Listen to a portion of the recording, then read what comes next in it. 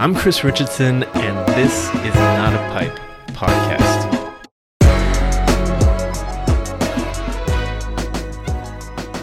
Before I get started with the interview today, I just want to say thank you, especially to those of you who have been listening for two years now.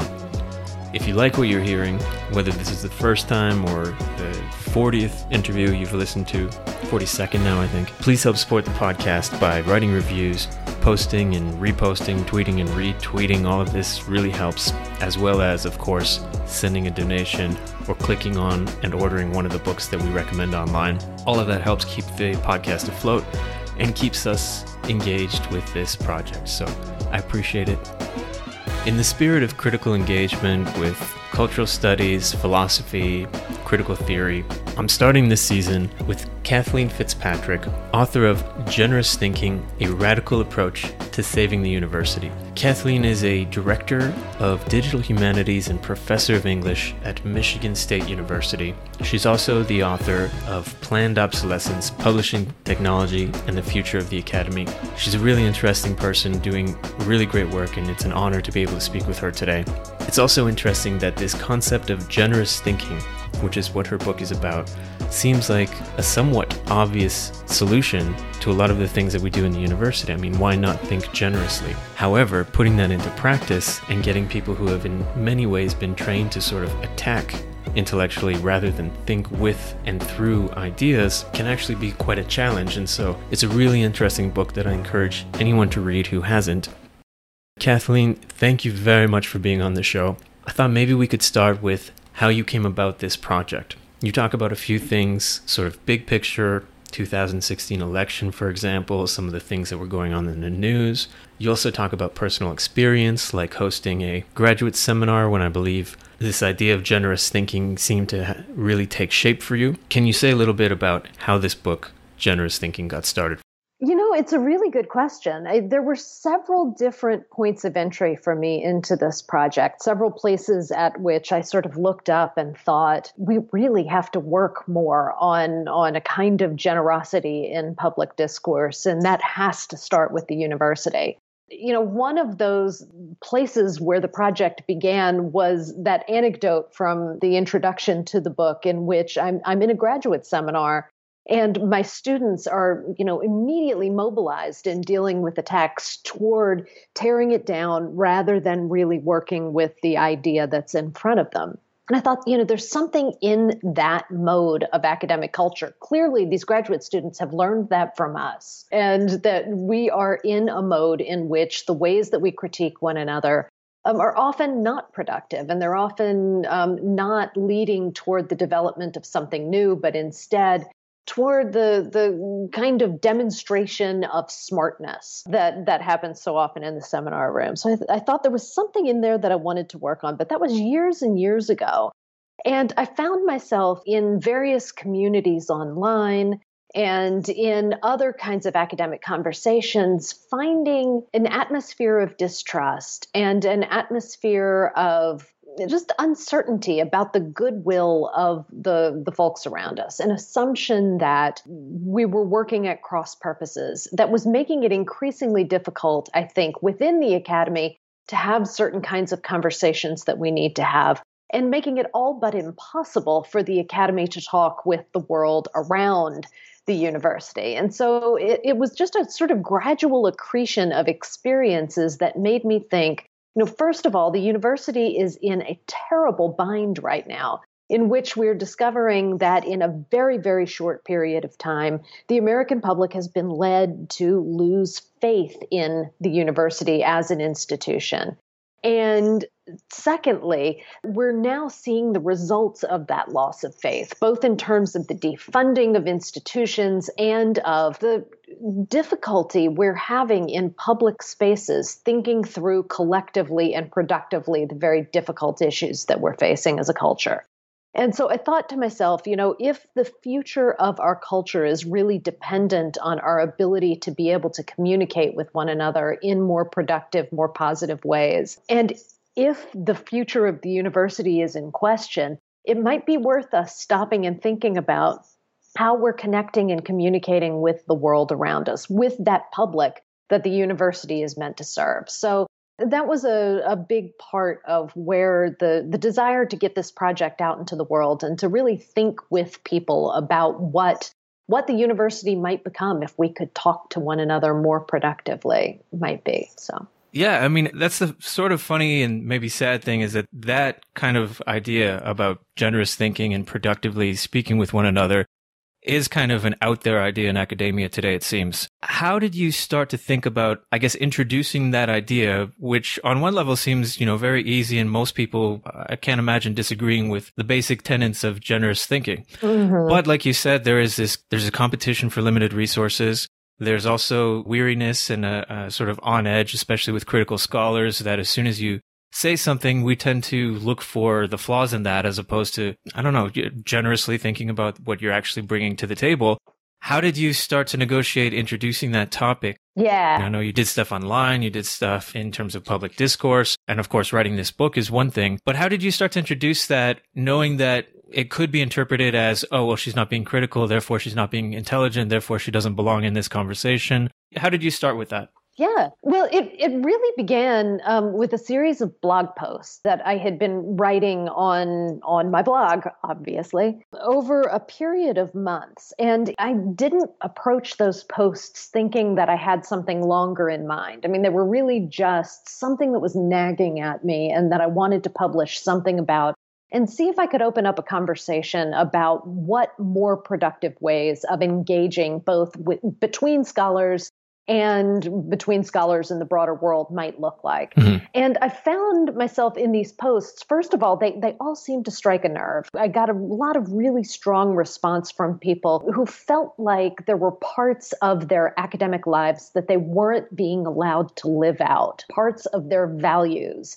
that they weren't able to fully manifest in the ways that they were working that they felt very strongly about wanting to bring forward and to talk about and to, to participate in a discussion around. So I found that those blog posts really, like I said, struck a nerve, but they also didn't resolve the question for me. This is where, frankly, my last two books have come from is feeling like I had something, you know, some little niggling thing that I wanted to to talk about writing a blog post, realizing that's not enough, writing some more about it, and realizing that I'm returning to the idea over and over again, and that, you know, maybe this needs to be something larger than just a, a series of blog posts and you know beginning to think about it in the context of the book. So the first bits of the book that i put out there were in that context were just really super informal blog posts that circulated on Twitter and that people found their way to, however, people find their way to blog posts these days. Mm-hmm. The next thing, I mean, after I really started thinking more seriously about this and thinking about it as a form of, of writing that I wanted to make more formal, I had been invited to give a talk at a, a, university that I, you know, had always wanted to visit, University of Richmond, um, which, you know, they thought they were bringing me in to, to talk about digital humanities stuff. and I, I, came in instead, you know, wanting to talk about generosity. And it was, um, it was an interesting experience, both for me and I think for the folks who were in attendance who weren't really expecting this talk. In part because, I mean, the, the, the folks who attended the talk were not all from the university. They were they were folks from the surrounding city who were participating in some some public events there. And this talk and its emphasis on really reaching out to the public and drawing them into the concerns and interests of the university, I think spoke to them in some interesting ways you know, and the talk was well received, and I did get some interesting. I'm not going to say pushback. It was critical comments on, you know, ways in which perhaps I want, I might want to push my thinking in a slightly more critical direction. The comment after that talk that really stuck with me was one scholar who said, you know, the choice to write and talk about generosity is a really canny one because nobody wants to be looked at as an ungenerous jerk in how they respond to you. And I had that same response. You know, I laughed and I thought this was really funny, but at the same time, I realized that it would be all too easy for me to use generosity as a shield mm-hmm. and to be able to say, you can't critique my ideas because that's ungenerous. And that's not at all where I wanted to go. So it was that moment at which I realized that generous thinking and critical thinking are not opposed concepts, right? It's not as though we need to undermine and do away with critique entirely or otherwise we're at one another's throats. There was something else that was making criticism, which has underneath it a deeply generous impulse, right? That generosity of saying, I hear your ideas and I'm listening to them carefully, and I think you can make them better, and I am going to share with you my thoughts about how. It's an enormously generous move that we enact with each other all the time in peer review processes. We do this with our students. It's a really important part of the generosity of what the university does. Mm-hmm. But nonetheless, there are things that are obstacles toward that are obstacles that keep us from making that critical work as generous as it might be. And I started thinking about what those obstacles might be. And that's where I ran headlong into the notion of competition. That, as in the graduate seminar room, there is this sense in which we have to demonstrate brilliance. And one of the easy ways to demonstrate brilliance is by pointing out how, how non brilliant everything else is. And similarly, you know, among academic colleagues, we feel as though we are always competing for limited resources within our institutions, for limited acclaim within our fields. And our departments are similarly competing for limited resources within the colleges and the universities, mm-hmm. and universities are competing for limited resources across the sector. The longer I looked at that competition, the more I began to realize that those processes that pit us against one another or that make us even think that we could be pitted against one another, that somehow or another the work that we're doing is so individual and individuated that it doesn't require positive communication and collaboration with our colleagues. That's where generosity starts to break down. And so the the process of writing the book really turned me from what at first looked like it was going to be, you know, another kind of diatribe against critique, and instead toward really thinking about what the processes of individualization, of competition, of privatization within the university are, and how they constrain the ways that we work with one another and with the public. Yeah, I mean, there's so much to unpack with that. One thing that strikes me is the idea that being generous and going forward with that mentality of trying to literally listen and help and hear what people are saying as opposed to just waiting for your own opportunity to show how smart you are. Mm-hmm. It sounds, and I think it is a great approach. I'm wondering if you could say a little bit about how to work within that framework personally and hopefully as a group, like you said, but also while clearly facing either outside opposition, like these groups that you mentioned sort of briefly, but I've actually, I've just seen them recently posting lists of courses they don't like. Uh, mm-hmm. I can't even remember the name of these groups, but um, I know the ones you're talking about. We've all kind of seen that, and it tends to be things about minorities, uh, queer studies, anything to do with socialism whatsoever. And, uh, and there's a lot of complaints. You're not going to be reciprocated with generosity. No. And that may occur on the campus, but also definitely outside of the campus in a lot of political venues. How do you approach ungenerous thinkers while trying to remain generous? That is an extraordinarily difficult question, and I wish I had an answer to it because I feel like I too. could solve a whole lot for us if yeah. I if I knew how to do that. And I, I, really, I mean, it's one of the important parts of, of writing the book for me was really needing at moments to admit where I don't know what the answer is. Mm-hmm. That's one of the places.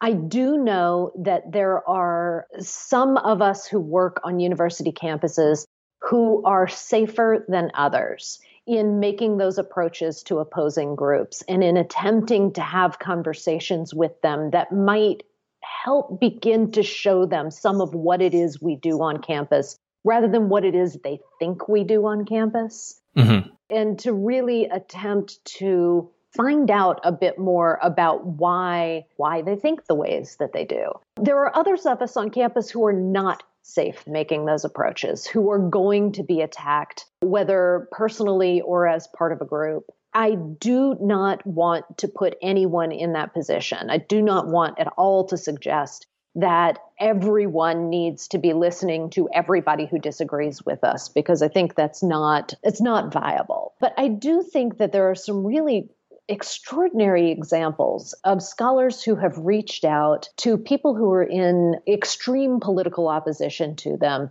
who have carried on conversations um, with them that have, if not changed minds, at least opened up certain kinds of trust with those those other communities. So I'm thinking here, and I refer to this in the book of Arlie Russell Hochschild's "Strangers in Their Own Land," which mm-hmm. I find both an extraordinary book for the particular kinds of conversations that she's attempting to have, really attempting to figure out how Tea Party Republicans in Louisiana who are living in an area that has been environmentally devastated by the oil industry could possibly be arguing that the EPA is a bad thing and should not be interfering in the work of those corporations within Louisiana. I mean, it's it's a really she sets out just to figure out how someone could think those two things at once. But in so doing, she opens up this method that really is entirely focused on listening. Going into this community, sitting down with people at their kitchen tables and asking them to tell her the story of how things got to be the way they are for them. Like what what do they think? Where did these beliefs come from? And then as she listens and attempts to sort of pull together what she thinks of as a deep narrative out of their story she tells that story back to them that narrative that she is constructing out of what she's hearing and asks right is this what you're saying? Right is does this represent your experience and they say, no, you know, that's not it. You've missed this part. Or no, I really don't think this thing. I think that thing. She course corrects and she revises and she rethinks and eventually gets to a place where she can represent back to the people to whom she is talking the experiences that they feel they have actually had. Her mind doesn't get changed in this. She doesn't necessarily want to support their narrative of how things got to be that way, and nor do they get dissuaded of the truth of their narrative. But they meet at some point in a place where they can hear one another. And that's a really remarkable achievement, I think. I mean, it, and it, mm-hmm. it's sad that we have to work that hard even to get to that point where we can hear each other but I think it's true. I mean, I think that's that's where we are right now. So again, I mean, I think that there are ways in which the university is under direct threat from the kinds of groups that you're talking about and those groups may not be the ones that we want to talk to directly because these are groups that in many ways want to dismantle the institution as it stands. But there are people they may be our friends and families. They may be people who surround the institution who don't know why they should defend it or why they should care about it. And our having conversations with them and helping them see what the importance of the university for their community and for their lives might be might help us build a broader community of supporters that can help us when we need help. I was familiar with a lot of the books you referenced, but definitely not Strangers in Their Own Land, which sounds like a, a really important thing, but also something that I would never personally want to do myself. And I think a lot of us probably wouldn't want to do that kind of work mm-hmm. because it's so, well, it makes you vulnerable in many ways. Yes. It's also not something that ironically very many of us are trained in in any ways to listen the way that you're talking about in the way that she does in this book but it, it raises an interesting point for me as well, which is what publics, and you do mention how there's not just this one general public that we should address in a singular, but what kind of groups do we pay attention to? Because mm-hmm. we tend to pay the most attention to the people who are just like us, which is probably not very good strategy, basically. Mm-hmm. But then there are other groups. Sometimes I would much rather pretend that they don't exist. And I'm talking about the particularly hateful groups that in some ways have become louder in the last few years mm-hmm. in America. Absolutely and I bring this up sometimes with my students that, you know, a lot of people are saying that there needs to be diversity of thought in the university. And it's a very big problem that there are way more liberals than conservatives on campuses. And that sounds, I mean, not necessarily unreasonable, but then I like to push that and ask, you know, if we're talking about the history of slavery, should we bring pro slavery and anti slavery people in and make sure that they have an equal 50 50 voice, which is usually not met with the same kind of, yeah, let's hear that out because we're quickly and easily getting into more and more uncomfortable territory where I think most of us would agree, like pro slavery people don't need half of the argument or to be represented fairly in the university. But how do we choose, I guess, what groups to speak with or to engage? I mean, we, we don't want to be monolithic, but we also probably don't want to say like, okay, you hate these minorities, you hate these groups. Let me better understand you. Right. Or do, or do we? Is there some reason that maybe we do want to do that? You know, I, hmm. My immediate response is, of course, to say no. I think if we are, and as we have been for decades, utterly unsuccessfully, trying to build a community on campus that resembles the world a bit mm-hmm. more than than what it has a community that is not just white middle class people who have come from a particular kind of educational background but instead that represents the full diversity of what the US is and should be, then we need to make sure that that community that we're building on campus is safe, that we understand ourselves not just as being people who look like us and who deserve to be on this campus, but that everyone who's who is on this campus, everyone who comes through this campus owns this campus in the same way that we do. Mm-hmm. If we genuinely believe that, we need to make sure again, those of us who are safe are willing to stand up for that community and say, I will not have other members of my community threatened by the hateful speech that you want to bring to my campus under the guise of free speech. If, you know, you want to give that hateful speech in a public place, I cannot stop you, but nor do I have to listen to it. I don't have to facilitate it either. I mean, these are extremely thorny issues, you know, because I think it's it's very easy right now for folks on the right to say, you're not listening to us because you know you you are running these extremists off campus rather than allowing their speech to be heard. I mean, again, it, this this gets into policy questions that I, I am probably not the best equipped to address. Not being a high level university administrator, but I do believe that we need to be thinking about whether in suggesting that there are people on the right that we are shutting down speech from and are not listening to, whether in fact there are other people on campus who we haven't been listening to for years that we ought to be paying more attention to and that we ought to be understanding more as being part of who we are on the campus. So I just am not sure that we have done a good enough job of really understanding that our community already needs work before we can turn our attention to you know thinking about those others mm-hmm. that that we do or don't want to be in some kind of conversation with. That, that was not the clearest possible answer. Well um, this but- this is murky territory for sure. And uh, i mean the way that you frame generous thinking makes perfect sense i think in terms of how to follow it until we run up to these situations where you want to be generous and listen and really, you know, try to understand. But then when that interlocutor is saying things that are, well, hateful is very easy to say, like, well, that's hate speech. I won't listen to that. Mm-hmm. I think mm-hmm. the, the murkier stuff is when we might interpret it as hate speech, but they are using the discourse that we, and I hate to use us and we, but I think it, it works in the university because we tend to admire and try to thrive on diversity, mm-hmm. diversity in many ways, but then that kind of language is used basically against the university to say, you're not diverse, you're not hearing diverse voices because I have these opinions. But uh, as you said, if it's a question of safety and a question of building an inclusive community, then diversity of opinion doesn't matter that much if that diverse opinion is that of hate. Yes, if that diverse opinion is there are people who don't belong here. Yeah then that it, it's exclusionary, it's not diverse. But that's not usually how they're presented now. In no, fact, they're they're being not. sort of trained in some ways to present it in the discourse that we have been using for quite a while in the university, which is right. to embrace diversity. It is not without irony that I say that I think the American right has learned far better the lessons of postmodern theory mm-hmm. than the left ever did. Our sense that diversity means diversity of political opinion now rather than diversity of life experience, that there is no such thing as scientific truth. Mm-hmm. You know, that, that expertise is something to be dismantled.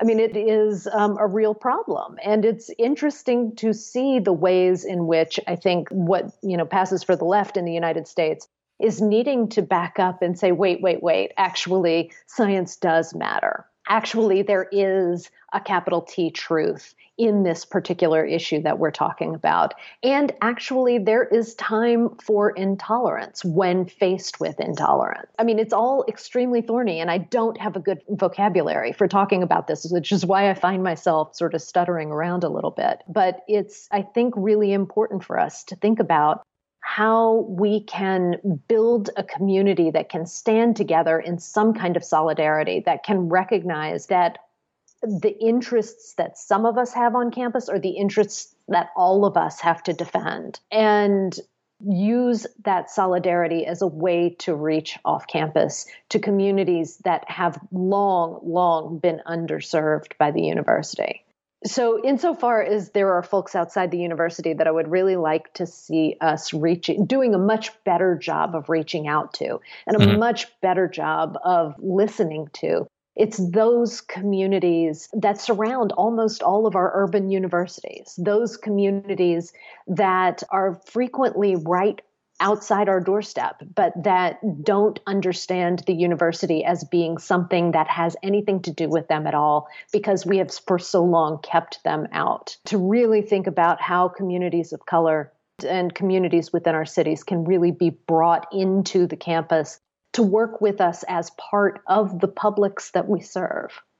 Yeah. I mean, you mentioned in here, and you're not the only scholar writing about this, that there seems to be a lacking vocabulary for us because we haven't quite developed it where we can move in and out of the university or the, the, that kind of setting in a way that we can share knowledge but not to give it to people but to actually engage in some kind of dialogue is is difficult the way that things have been set up Absolutely. I had a, a, great conversation with a colleague here at MSU um, about a week ago, in which he was telling me that, I mean, he works in the office on campus that specifically focuses on community engaged scholarship. Mm-hmm. He was telling me that there's been a move in recent years in the understanding of what community engagement is in scholarly circles from a mode that's been sort of deficit oriented. There is this problem in the community, and we, the university, must take our resources out there and go fix the problem. Mm-hmm. Um, and shift away from that model to thinking about an asset model. Like there are strengths in this community around us, and we have strengths here on campus. And if we bring them together, we can build something pretty remarkable that asset model has to start with the kind of listening that I'm talking about, really talking to the community, finding out what's happening there, finding out what they might want or need, what their hopes and interests are, and then seeing if the university has a role to play rather than parachuting in as we do and saying, you have this problem and we're going to fix it another issue with that is we have a very, at least in the humanities, specific vocabularies of the kind of work that we do based on often the intellectual traditions that we come from, which doesn't necessarily translate well. And we don't do that translating. And because of that, it gets either changed, simplified, put into, I don't know, phrases or popular discourse that we don't really see ourselves reflected in. Mm-hmm. And you make the point that part of that is because, yeah, we're not trying to engage with any other communities. And therefore, if they do get into the other communities, the kind of work we're doing, it's translated into ways that we probably don't recognize. So if we're interested in doing that, or if we're interested in, I guess, reaching a broader community than just our peers doing basically the same kind of work, maybe at other institutions, what are some strategies that you have seen to be particularly effective? The strategies that I talk about in the book start as simply as making sure that the work that we're writing and publishing um, as part of our scholarship is openly available and accessible, that people can get to it um, mm-hmm. without having to have access to a major research library. I mean, I think there are a lot of scholars who frequently get frustrated that the work that they're doing on issues talk the issues that are being talked about in the public doesn't turn to their scholarly research in order to help support arguments or help really you know make those issues richer and and more broadly understood. And in part, the scholarship doesn't get brought into those public discussions because nobody can get to it. Nobody knows it's there. So, finding ways to make sure that the work that we are doing is publicly visible and accessible is a key component. But in that, there's also the need And I think this is part of what you were gesturing toward to make sure that the work that we're doing is publicly accessible in not just in publication venue, but also in register, mm-hmm. right? That we write in a way that isn't dumbed down and it isn't pandering, but that's, that's really trying to draw a broader audience who's concerned about the same issues that we're concerned about into thinking about the issues the way that we do. And, you know, we find in a lot of fields, in gender studies, for instance, in African American studies, in media studies, in popular culture studies today, mm-hmm. that we see that there's an enormous audience for this material that really cares about it and really wants to engage with it. And finding ways to bring that audience in and to be in dialogue with them around the material that we're working on I think is really crucial to making sure that it's visible that the work that happens on campus it, that it's not just some ivory tower escape from the real world writing about issues that don't really matter to anybody except other academics. But that in fact the work that's being done on campus speaks directly to the lives and the lived experiences of people and their concerns um, with the culture that that we find ourselves in today so, yeah, I mean, I, I, do think that we need to be thinking more about how to make those connections. And some of that can happen through the kinds of publications and publication practices that I just mentioned. But others, there are other ways of making those connections as well. And I keep thinking about a project like Baltimore Stories at University of Maryland, Baltimore County, in which the Humanities Center brought together community organizers and writers and folks from the university into a broad dialogue about what was happening in the city of Baltimore and about the narratives of race and culture that they were able to trace, that they were all concerned about in this place. And the ability of just bringing people together to tell their own stories and to have those stories heard by people both from on campus and off campus I think is really crucial. I think the university has a really powerful convening ability to bring together those discussions. And the more that we can build those discussions around the interests of the surrounding community and around their concerns, um, the more likely those communities are to understand that the university is there for them. I mean, like you said, there's a number of venues and there's a number of ways in which they're changing you highlight in the book, scholarly journals used to be very difficult to access if you didn't have libraries that had huge budgets. Now there's a lot of open access and there's a push towards open access. Mm-hmm. And that comes, of course, from, from the internet and from digital technologies and the reduction of price and the easy distribution. But it doesn't necessarily translate into books which are still seen as sort of the pinnacle or what you must attain in order to get tenure. And that may change, but it hasn't changed in the same kind of way. Right. And a lot of research, I think, or a lot of ways in which research is disseminated, there are possibilities with the technologies that we have, but there are also, uh, depending on how you want to see it, traditions or holdouts or questions of what do we do with with the book, for example. Yeah. Where do you see stuff like publishing in university presses with physical books Right now, it's still, as you sort of mentioned, it hasn't entered the open access the way that journals and and that kind of work has been right. uh, entering it. Do you think that that's I don't know, sort of inevitable, or do you think that the book will remain? I'm curious to hear a little bit more about where you see things going in that respect. Yeah, I think there are a bunch of different possibilities in front of us. I mean, we're seeing a lot of experimentation within university presses right now with new business models for open access publication of scholarly monographs. So there's a, a, project that's a joint project of the Association of Research Libraries, the American Association of Universities, and the mm, Association of University Presses that together have started a project called Tome, um, which is towards an open monograph environment.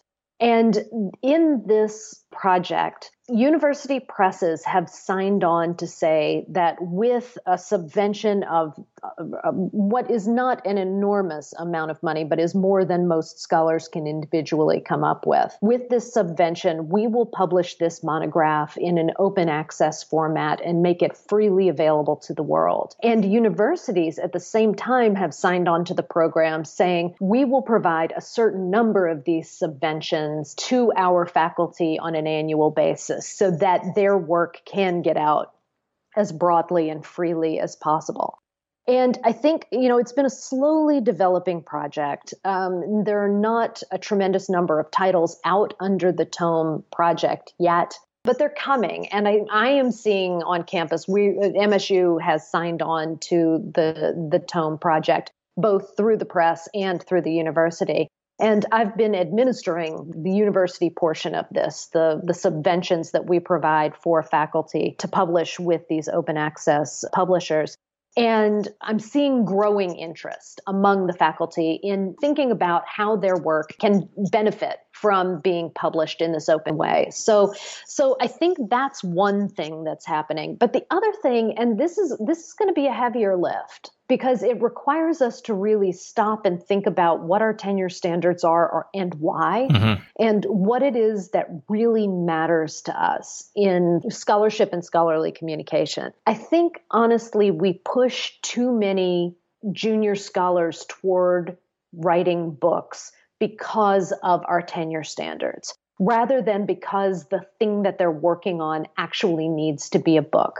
And I would really love to see us, particularly in the fields that have been most book dependent, you know, English and history and, you know, a, a, few other fields. I would really love to see us think a little bit harder about that question and think about whether we might reserve the book for those projects that require a certain kind of big public audience that then you know those books that sell enough become financially viable and our presses can keep going. While other kinds of work that that really is speaking more to a smaller audience to one another that is intended for an academic readership might instead um, be better published in another form that might take on the form of a series of interconnected journal articles or that you know coming from my digital humanities side that might be instead an online project that can be engaged with over time. I on the one hand really want to see the book as a form thrive and the publishers that publish them thrive because they do an, an enormous service mm-hmm. to our fields. But I also worry that we're defaulting to the book as a form and granting it a kind of prestige that isn't serving any of us. It isn't serving the scholars, it isn't serving the institutions, it isn't serving readers, it isn't serving the presses as well as other forms might. Right. So, I mean, again, it's a tangled set of thoughts. I do think that there are ways in which opening up the scholarly monograph so that more people can read it will be an enormous help to its audience. But I also think that we really need to think long and hard about whether the things that we're publishing really ought to be books. Yeah.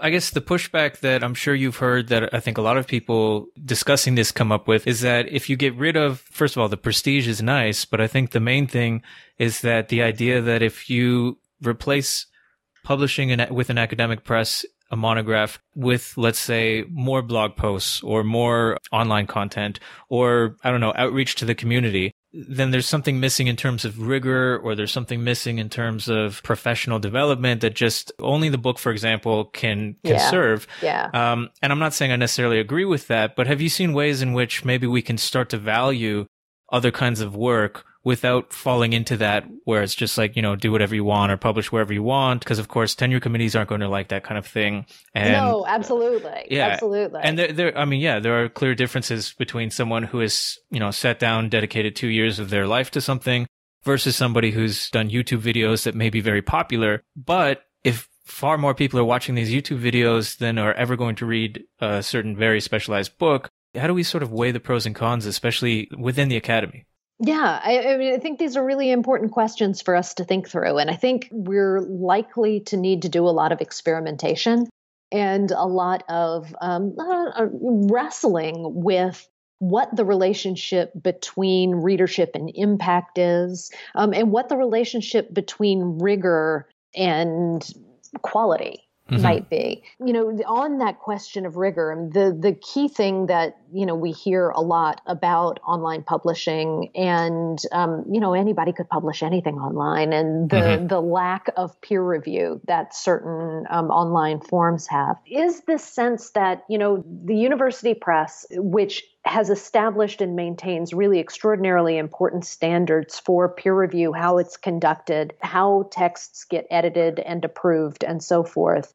That that is the pinnacle of rigor. That is the most important way that we could possibly get material of quality out into circulation. You know, I understand why we say that. I think that process, as I've just said, is extremely important and it's it, it has really contributed enormously to the development of scholarship in our fields. But I think there are other ways that that kind of work can get done. So, just as an example, um, Generous Thinking was published by Johns Hopkins. And in my negotiations with Hopkins for how we were going to go about publishing this book, um, we came mutually to the idea that I would do an open peer review process online. That instead of them sending out the manuscript to the conventional two or three reviewers, that we would post the thing openly and we would seek comment and see if we could generate some dialogue and discussion that would help me really think about the book, how it was working, what kinds of revisions were needed, and so forth. Mm-hmm. And so we did this, you know, in, in February and March of 2018 opened up the entire draft manuscript as it stood and i had a series of readers come through some of whom, you know, in the first couple of weeks, it was a relatively small number of invited readers. And then after that, there was a month in which the thing was completely open to any reader who wanted to come in and leave comments. And I announced it around all over the place. And wound up with 40 readers who came through and left a bunch of comments and really discussed things with one another and discussed them with me and helped me see places where I really desperately needed to rethink my ideas. I mean, it wasn't as though opening it online and you know eliminating anonymity for the reviewers resulted in reviews that pulled their punches or that were all rainbows and unicorns. I mean some of these these comments were really deep critiques of the ways that i was approaching certain parts of, of the issues. And that experience, having 40 perspectives on this book that were coming from different places and with different interests, I think made the book, as I revised it, way better than it would have been with two or three standard readers reports. And those standard readers reports would have paid enormous attention to the text as well, but there's no escaping the fact that it's two or three people. And that for that reason, if no other, the, the, the range of experiences and perspectives that are brought to bear on the text are limited. So I think there are ways that we can construct processes online that have even more rigor than what we're used to because we bring a community to bear on thinking about the work that we're doing mm-hmm. collectively and we hold one another accountable for the ways that that commenting happens, for the ways that revision happens and so on. We have limited ourselves to certain forms of quality control within the academy that have served us well for quite a while, but that we might start thinking beyond in some ways that could be really productive. Yeah, I mean, I find the way that you describe doing this manuscript really interesting, and you talk about making sort of making yourself more vulnerable by putting it out there before it's finished, but also mm-hmm. making it accessible and having a lot more, effectively having a lot more stakeholders or building a community, like you just said. Exactly. I'm also wondering though, in all of these invitations, I guess, to talk with more communities, to open ourselves up, to go beyond the academy and, and these kinds of things.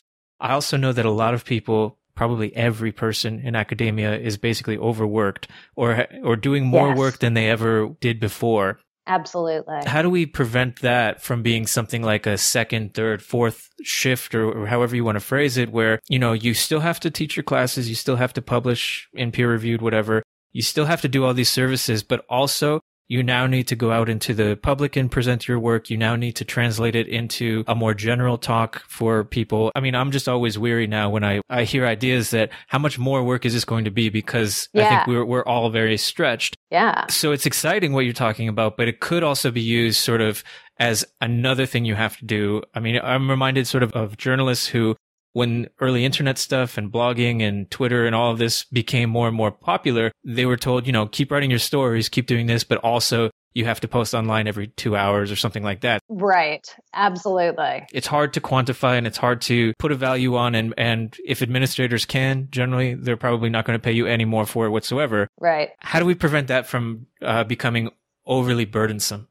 So this is the key question, and it's where I, I wind up landing near the end of the mm-hmm. book is in the need to radically rethink what our tenure and promotion standards are, and our standards, you know, for annual reviews and merit increases and hiring and all of the other personnel processes that we participate in. I mean, right now things are uh, becoming increasingly quantified, mm-hmm. right? You have to produce a certain amount of stuff over the course of any given year in order to get credit for that stuff and be seen as worthy of a merit increase. The boxes that that stuff falls into are themselves ranked in terms of prestige, right? You produce a book and you get X number of points. You produce a peer reviewed journal article in a top tier journal, and that's this number of points, and so forth. And so, yeah, in a system like that, where these are the things that count, anything that we add on top of it that looks like service falls to the bottom of the rankings. And everything that we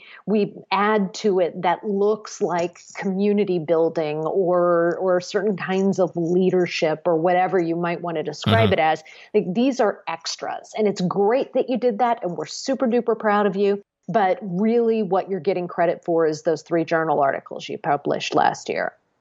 We really need to stop and take a hard look at all of that and think about what a set of standards for tenure and promotion that genuinely upheld the values that we bring to the work that we're doing might look like. What is it that matters most to us? How do we know that the work that we're doing matters? And how can we then you know build a career that doesn't run the risk of burning us out because we're trying to do absolutely everything the stuff that we have to do plus the stuff that we want to do? Mm-hmm. but that allows us to really set a path toward what we consider success to be. How we're we're working with students how we're working with one another how we're working with the community that allows us to determine what that success looks like and then set goals for ourselves and be assessed based on the goals that we set it's again, I mean, this is an extraordinarily heavy lift to say, you know, all institutions in the United States, you need to rethink your tenure and promotion processes. But I'm feeling more and more a desire to think about what a more balanced academic life that actually works toward the goals, the deep goals that we really have, rather than the goals that we're told we have to have, mm-hmm. might look like.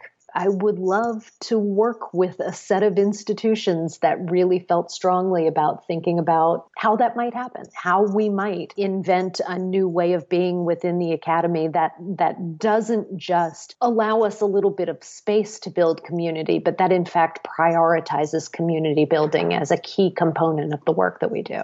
Along with that, I think something that is relatively obvious to anyone working in humanities is that we are not trying particularly for individual gains. Like that's not why we got into this. And it's not the things that we're trying to instill in our students. We're trying to build better communities, democracies, groups of thinkers and engaged intellectuals. You know, like it's a, it helps communities everywhere if we can do the kind of work that we want to do, especially in the humanities, but more broadly in the university. I think that's exactly right. And you make a great case for it. And I want to just make everyone see that. Not everyone does see that. And in fact, no. as you mentioned, it's more and more seen as an individual, you know, how much am I spending versus how much will I get paid my first year out of undergrad or out of grad school?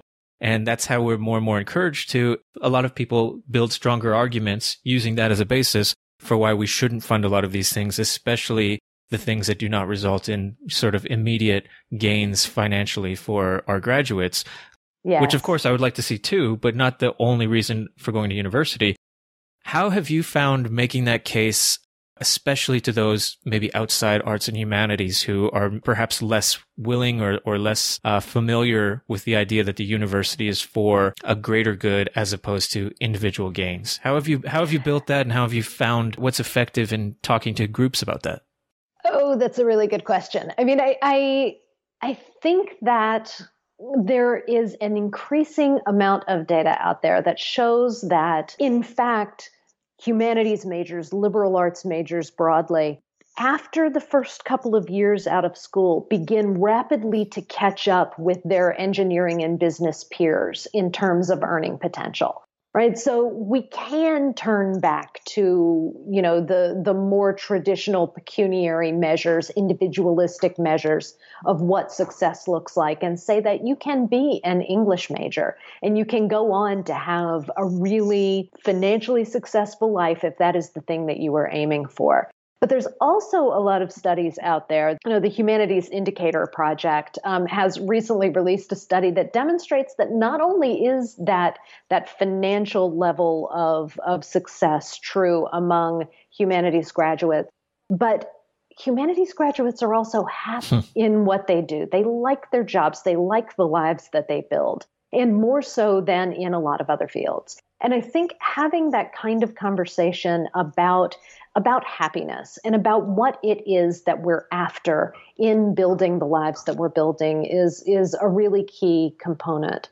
That having been said, I think there is also, I mean, that, that all still leaves everything at the individual level, right? This mm. has become the dominant narrative within talking about higher education that the purpose of higher education is for some kind of individual achievement or advancement, whether it's, it's, individual achievement that is financially based or that if it has some other kind of more internal, non financial basis. It's nonetheless individual.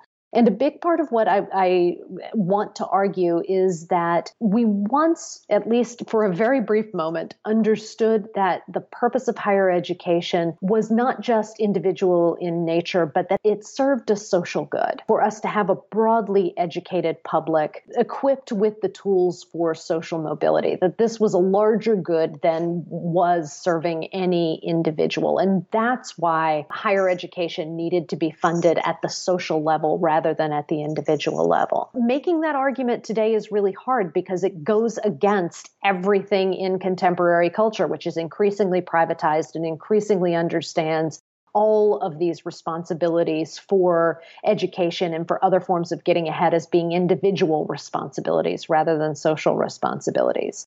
But I think the more that we are able to say that you know we find ourselves in the the somewhat desperate cultural situation we're in today precisely because we've lost track of what the social good might be.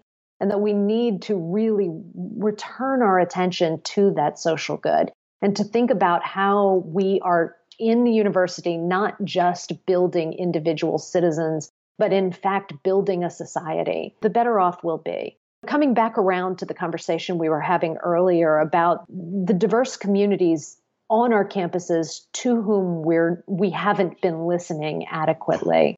There are many students on our campuses who come from communities of color, who come from rural communities, who come from places where they are the first member of their family to go to college, mm-hmm. who recognize that their role in going to college and get this educa- getting this education is not just about them individually that it's about bringing the work that they they do and the knowledge that they gain within the university back to their communities back to their families back to the people that they care about. And if we were to listen more closely to those students, to those families, to those communities, and find out what higher education means to them and how they understand its role in building strong social networks and strong structures of community support. I mean, we might really learn something new about what the university is for and how we might turn its direction in the future.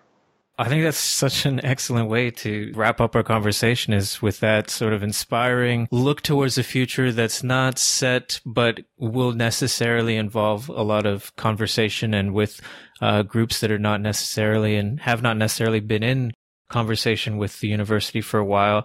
Kathleen, I just want to thank you so much for speaking to me today about your book, Generous Thinking.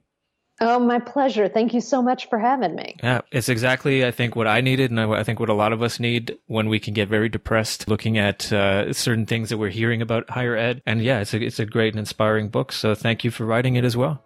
Oh, my pleasure. My pleasure. Thank you.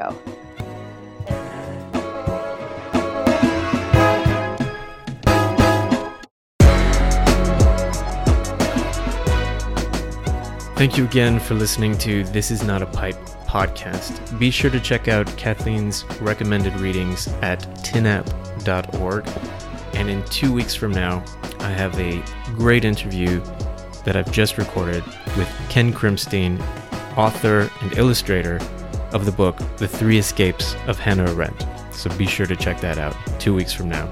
Until next time, I'm Chris Richardson. Cheers.